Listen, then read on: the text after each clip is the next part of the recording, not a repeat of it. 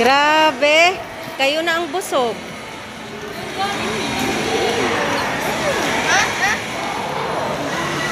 Madami naman cheese sa'yo.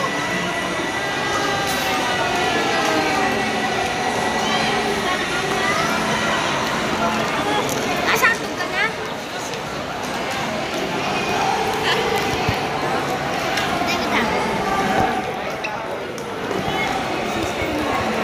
Ayan, happy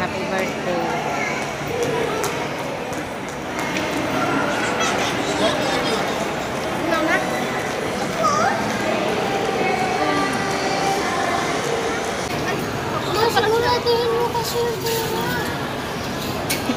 Tapos na.